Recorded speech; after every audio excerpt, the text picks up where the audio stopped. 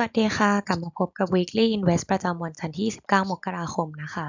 สำหรับ Fund of the Week ประจำสัปดาห์นี้นะคะ กองแรกก็จะเป็นกอง ASP EUG นะคะ ซึ่งเรามองว่ากองนี้น่าจะได้รับอานิสงส์บวกจากการที่อัตราเงินเฟ้อของยุโรปมีการปรับลดลงอย่างต่อเนื่องค่ะ ก็เลยทำให้เรามองว่า ECB แล้วก็ BOE ก็มีแนวโน้มที่จะปรับลดอัตราดอกเบี้ยได้เร็วกว่าที่คาดนะคะ แล้วก็ valuation ก็ยังอยู่ในระดับที่น่าสนใจค่ะ โดยปัจจุบันตัว PE ก็เทรดอยู่ในระดับต่ำกว่าค่าเฉลี่ย 10 ปีถึงลบ1 SD เลยทีเดียวค่ะ ส่วนกองที่2นะคะก็จะเป็นกอง ASP อินเดียค่ะ อินเดียก็ยังมีอัตราการเติบโตทางเศรษฐกิจสูง เป็นอันดับต้นๆของโลกนะคะ แล้วก็คาดการว่าอาจจะมีโอกาสขึ้นไปเป็นท็อป 3 ได้ภายในปี 2030 ค่ะ แล้วก็มูลค่าหุ้นก็ยังมีความเหมาะสมต่อการลงทุนในระยะยาวค่ะ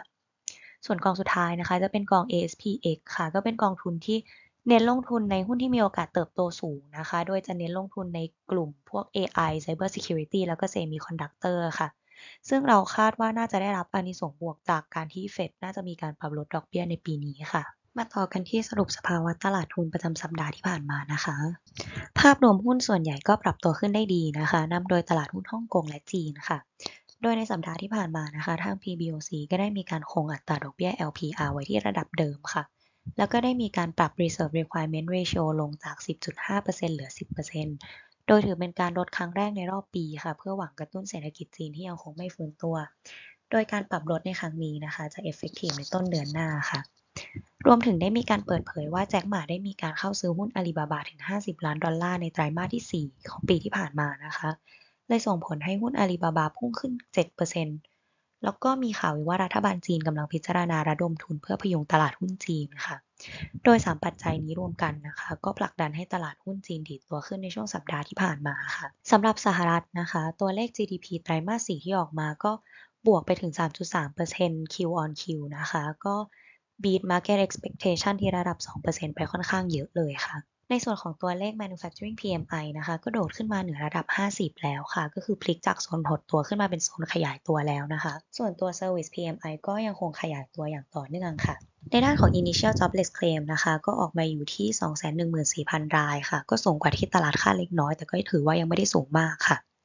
ส่วนตัว core PCE นะคะ ก็ออกมาต่ำกว่าที่ตลาดคาดเช่นกันค่ะ ซึ่งตัวเลขทั้งหมดนี้นะคะ ก็สะท้อนว่าเศรษฐกิจสหรัฐยังคงแข็งแกร่งค่ะ ก็ส่งผลให้ตลาดหุ้นสหรัฐปรับตัวขึ้น และตัวดัชนี S&P ก็ยังคงทำออทำไฮอย่างต่อเนื่องค่ะสำหรับหุ้นยุโรปนะคะ ก็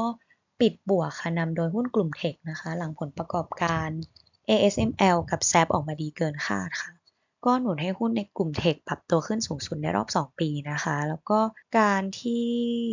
จีนมีการออกนโยบายกระตุ้นเศรษฐกิจนะคะ ก็ส่งผลให้หุ้นกลุ่ม Luxury ปรับตัวขึ้นเช่นกันค่ะ แล้วก็ในสัปดาห์ที่ผ่านมานะคะ ทาง ECB ก็มีมติคงอัตราดอกเบี้ยนโยบายไว้ที่ 4%เท่าเดิมค่ะสำหรับญี่ปุ่นนะคะ ในสัปดาห์ที่ผ่านมาก็มีการปรับตัวลงนะคะ ซึ่งคาดว่าเกิดจากการที่นักลงทุนต่างทยอยเทคโปรฟิตหลังตลาดหุ้นญี่ปุ่นปรับตัวขึ้นมาค่อนข้างสูงค่ะ แล้วก็เงินเฟ้อญี่ปุ่นในเดือนธันวาคมนะคะ ก็ออกมาต่ำกว่าคาดค่ะที่ระดับ 2.6% year on year ส่วนตัวเงินเฟ้อโตเกียวเดือนมกราคมนะคะ ก็ออกมาต่ำกว่าคาดเช่นกัน โดยอยู่ที่ 1.6% year on year ค่ะ แล้วก็ในสัปดาห์ที่ผ่านมานะคะ ทาง BOJ ก็มีการลงมติคงอัตราดอกเบี้ยไว้ที่ระดับลบ0.1% รวมถึงคง yield curve control ไว้ที่ระดับบวกลบ1%เท่าเดิมค่ะสำหรับตัวบอลยิวนะคะ ตัว 2 ปีก็มีการปรับลงมาเล็กน้อยนะคะ สู่ระดับ 4.35%ค่ะ ส่วนทางกับตัวบอลยิว 10 ปีนะคะ ที่ปรับเพิ่มขึ้นเล็กน้อยสู่ระดับ 4.14%ค่ะกันที่หุ้นรายอุตสาหกรรมนะคะ ในสัปดาห์ที่ผ่านมาหุ้นรายอุตสาหกรรมก็สามารถปรับตัวขึ้นได้ดีค่ะนำโดยหุ้นกลุ่มพลังงานนะคะ ที่ปรับตัวขึ้นโดดเด่นจากราคาน้ำมันที่พุ่งขึ้นค่ะ โดยในสัปดาห์ที่ผ่านมานะคะ ตัวราคาน้ำมันได้พุ่งขึ้นประมาณ 6%เลยทีเดียวค่ะ ก็สาเหตุก็มาจากการที่ตลาดคาดหวังว่าอุปสงค์น้ำมันจะมีการปรับเพิ่มสูงขึ้นนะคะ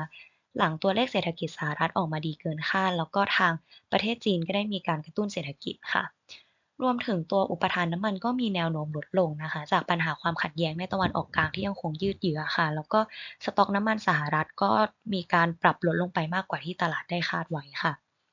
ส่วนทองนะคะในสัปดาห์ที่ผ่านมาก็มีการปรับตัวลงส่วนทางดอลลาร์อินเด็กซ์ที่ปรับตัวขึ้นเล็กน้อยค่ะสำหรับ weekly ประจำสัปดาห์นี้ก็จะมีด้วยกันทั้งหมด 3 หัวข้อนะคะ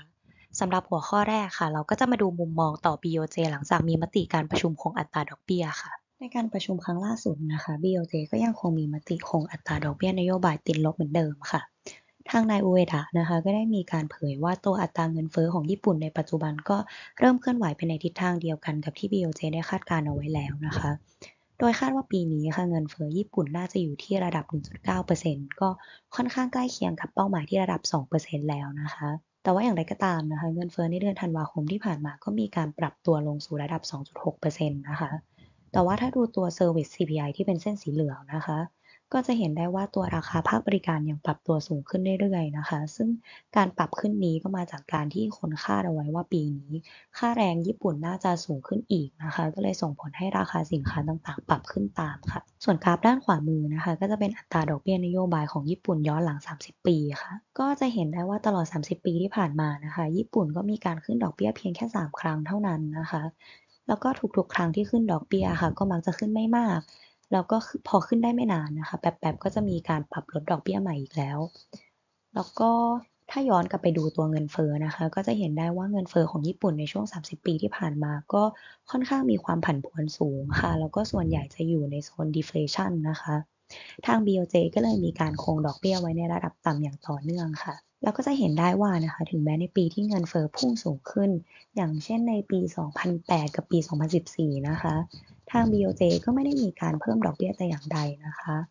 เราก็เลยมองว่า BOJ ก็คงได้รับบทเรียนจากครั้งที่มันผ่านมานะคะทำให้เขามีความระมัดระวังในการปรับขึ้นดอกเบี้ยมากขึ้นแล้วก็ต่อให้ถ้าปีนี้มีการปรับดอกเบี้ยขึ้นจริงนะคะ ถ้าอิงจากสถิติก็คาดว่าน่าจะปรับขึ้นได้สูงสุดแค่ประมาณ 50 บิบค่ะ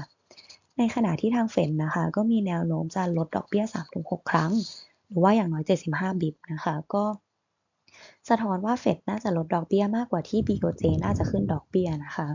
เราก็เลยมองว่าตัวเงินเยนก็น่าจะยังคงอ่อนค่าต่อเนื่อง แล้วก็ตลาดหุ้นญี่ปุ่นก็ยังคงน่าสนใจแล้วก็ยังไปต่อได้ค่ะสำหรับหัวข้อที่ 2 นะคะ เราก็จะมาดูทิศทางอัตราเงินเฟ้อและแนวโน้มการปรับลดดอกเบี้ยของธนาคารกลางยุโรปกันค่ะ ในสัปดาห์ที่ผ่านมานะคะ ทาง ECB ก็มีมติคงอัตราดอกเบี้ยหลักไว้ที่ 4%เช่นกันค่ะ ในขณะที่ตัวเงินเฟ้อของยุโรปนะคะ ก็มีการปรับลดลงอย่างต่อเนื่องค่ะ ถ้าดูจากในกราฟนะคะ ก็จะเห็นได้ว่าตัวราคาบ้านและพลังงานที่เป็นแท่งสีม่วงนะคะ กับราคาอาหารที่เป็นแท่งสีเหลืองค่ะ ก็จะเป็น 2 ปัจจัยหลักที่หนุนให้เงินเฟ้อยุโรปมีการปรับตัวขึ้นในช่วงที่ผ่านมา ซึ่งการที่ราคาปรับตัวขึ้นนะคะ ก็มาจากเหตุความขัดแย้งระหว่างรัสเซียยูเครนค่ะ ที่ทำให้เกิด supply shock แต่เราก็มองว่าสิ่งนี้ก็จะเป็นเพียง one-time shock ค่ะ แล้วก็ปัจจุบันนะคะ สัดส่วนตัวบ้านแล้วก็พลังงานก็ลดลงอย่างเห็นได้ชัดค่ะ ก็แทบจะไม่ได้ contribute อะไรให้เงินเฟ้อแล้ว ก็จะเหลือแค่สัดส่วนราคาอาหารนะคะ แต่ว่าก็มีแนวโน้มลดลงอย่างต่อเนื่องค่ะ เราก็เลยมองว่าเงินเฟ้อยุโรปนะคะ ก็น่าจะสามารถปรับลดลงสู่ระดับ 2%ได้อย่างต่อเนื่องแล้วก็ไม่ยากค่ะ แล้วก็ไม่น่ามีการดีดกลับมาสูงใหม่ ซึ่งก็จะตรงกันข้ามกับสหรัฐนะคะ ที่ปัจจุบันตัว Service CPI ที่เป็นสัดส่วนหลักของเงินเฟ้อค่อนข้างที่จะสติ๊กกี้ค่ะ แล้วก็ไม่ยอมปรับลดลง ก็เลยทำให้เงินเฟ้อสหรัฐปรับตัวลงได้ค่อนข้างยากค่ะ ด้วยเหตุนี้นะคะ เราก็เลยคาดว่า ECB น่าจะมีแนวโน้มปรับลดดอกเบี้ยได้เร็วกว่าเฟดนะคะ แล้วก็น่าจะปรับลดได้แรงกว่าด้วย ก็เลยมองว่าน่าจะเป็นผลดีต่อตลาดหุ้นยุโรป โดยเฉพาะในหุ้นกลุ่ม growth ค่ะ สำหรับหัวข้อสุดท้ายนะคะ ทางการจีนก็ได้มีการออกมาตรการกระตุ้นความเชื่อมั่นค่ะ แต่ว่าคาดว่าตลาดน่าจะ rebound เพียงระยะสั้นค่ะปัจจุบันนะคะรัฐบาลจีนก็ได้มีการเข้าซื้อหุ้นในฝั่งเอเชียอย่างต่อเนื่อง พร้อมทั้งห้ามไม่ให้บริษัทกองทุนและบริษัทประกัน short sell หุ้นนะคะ แต่ว่าอย่างไรก็ตามทางรัฐบาลก็ได้มีการพิจารณามาตรการกระตุ้นตลาดหุ้นจีนอันใหม่ค่ะ โดยจะมีการระดมเงินทุนกว่า 2 ล้านล้านหยวน เพื่อให้กองทุนเข้าซื้อหุ้นในตลาดฮ่องกง แล้วก็หวังกระตุ้นให้ตลาดฟื้นตัวค่ะ แต่ว่าอย่างไรก็ตามคาดว่ามาตรการนี้จะส่งผลให้ตลาด rebound ได้แค่ในระยะสั้น ๆ นะคะ เนื่องจากว่ารัฐบาลเคยใช้นโยบายแบบนี้ไปแล้วในปี 2015 ซึ่งถ้าดูจากในกราฟนะคะ ก็จะเห็นได้ว่าตลาดก็มีการปรับตัวขึ้นแค่ชั่วคราว แล้วก็ปรับตัวลงเหมือนเดิมค่ะ อีกทั้งเศรษฐกิจจีนในตอนนี้นะคะ ก็ยังอยู่ในสภาวะที่ย่ำแย่กว่าในตอนปี 2015 อีก ก็เลยมองว่านโยบายอันนี้นะคะ ก็น่าจะเป็นปัจจัยบวกแก่ตลาดหุ้นจีนแค่ในระยะสั้นค่ะสำหรับนักลงทุนที่ถือจีนอยู่นะคะ ก็แนะนำให้ทยอยลดสัดส่วนค่ะส่วนนักลงทุนใหม่ก็แนะนำให้เวทแอนซีจนกว่าจะมีสัญญาณฟื้นตัวของเศรษฐกิจที่ชัดเจนค่ะ ปัจจัยสำคัญที่จะต้องติดตามในสัปดาห์นี้นะคะ ก็มีค่อนข้างเยอะเลยค่ะ วันที่ 30 มกรานะคะ ก็จะมีการประกาศ GDP ไตรมาส 4 ของยุโรปค่ะ วันที่ 31 มกรานะคะ ก็จะมีการประกาศ PMI เดือนมกราของจีน แล้วก็จะมีการประกาศผลการประชุมเฟดนะคะ โดยทางเราคาดว่าเฟดก็น่าจะยังคงอัตราดอกเบี้ยไว้ที่ระดับปัจจุบันค่ะ ส่วนวันที่ 1 กุมภานะคะ ก็จะมีการประกาศยุโรป CPI นะคะ มีประกาศผลการประชุมของธนาคารอังกฤษ แล้วก็มีตัวเลข Initial Jobless Claim กับ Manufacturing PMI ของสหรัฐค่ะ ส่วนวันที่ 2 กุมภานะคะ ก็จะมีตัวเลข Non-Farm Payroll กับ Unemployment Rate ของสหรัฐนะคะสำหรับ Weekly Invest ประจำสัปดาห์นี้ก็จะมีเพียงเท่านี้ค่ะ พบกันใหม่สัปดาห์หน้านะคะ สวัสดีค่ะ ติดตามข่าวสารอัปเดตเทรนด์การลงทุนกับบลจ Asset Plus ได้ที่ Asset Plus Fund Management ทั้งช่องทาง Facebook, YouTube และ b ล็อกดิแอปพลิเคชัน ASP Fund ทั้ง Android และ App Store สนใจกองทุน โทร 02 672 1111